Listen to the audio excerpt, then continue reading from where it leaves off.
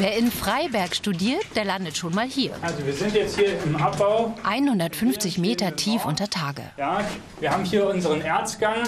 Dort vorne war er etwas mächtiger, dann wieder etwas verwitterter. Äh, hier sieht man ihn ganz gut. Die reichen Silberfunde vor über 800 Jahren machten die Stadt im Laufe der Zeit berühmt. Könnt mal anfassen, es ist wirklich sehr bröselig und sehr schmierig. Heute dienen die Stollen der Forschung. Das Bergwerk gehört der Universität.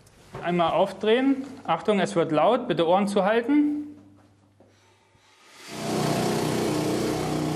Seminare unter Tage, das ist europaweit einmalig. Bergbaustudenten, Geologen, Vermesser, sie sollen ein Gefühl dafür bekommen, wie es am künftigen Arbeitsplatz sein könnte. Abgeschreckt hat es eigentlich noch keinen. Also es ist eher die Faszination hier unten äh, dann auch äh, ja, mit dabei zu sein und äh, Praktikum durchführen zu können. Ähm, das hat mich auch fasziniert, als ich hier angefangen habe zu studieren, äh, dass es eben diese Möglichkeit gibt hier. Weit über dem Bergwerk der alte Förderturm. Er thront noch immer über der kleinen Stadt im Erzgebirge. Gleich um die Ecke vom historischen Obermarkt das Hauptgebäude der Bergakademie. Ressourcenuniversität nennt sie sich heute und geht vor allem der Frage nach, wie sehen Technologien für die Zeit nach dem Erdöl aus? Vielleicht so, indem sie Braunkohle mit Gasen mischen? Die Wissenschaftler der Bergakademie feilen an einem ganz besonderen Reaktor, ihrem Kiwan, um Alternativen zum Erdöl zu finden. Es kommt nur aus einer Versorgungsleitung. Wir können Wachse erzeugen, wir können Benzin erzeugen, es können andere, es können Methanol erzeugt werden, andere chemische Produkte, die irgendwo alle derzeit aus Öl gewonnen werden. Und damit haben wir natürlich einen Ersatz dieser ganzen Produkte dann auch für die Zukunft. Die Wirtschaft profitiert nur davon. Als Wirtschaftsstandort profitiert Freiberg längst von der Universität.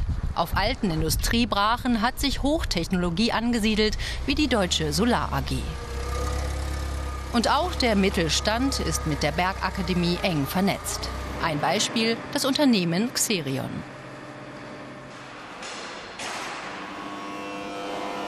In der Manufaktur stellen sie Hightech-Öfen her, eine Idee, die der Chef hatte, als er in Freiberg promovierte. Über 2000 Grad können sie heiß werden. Uwe Lose verkauft die Öfen auf vier Kontinenten, alles Spezialanfertigungen. Dieser geht nach Sibirien.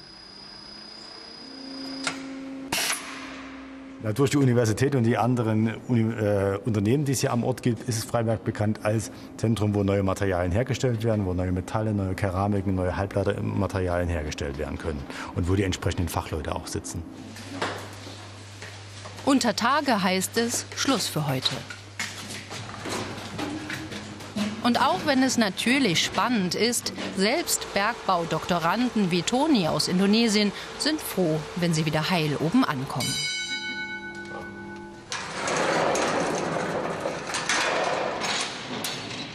Also Helm ab, Gummistiefel aus und zurück in die Bibliothek.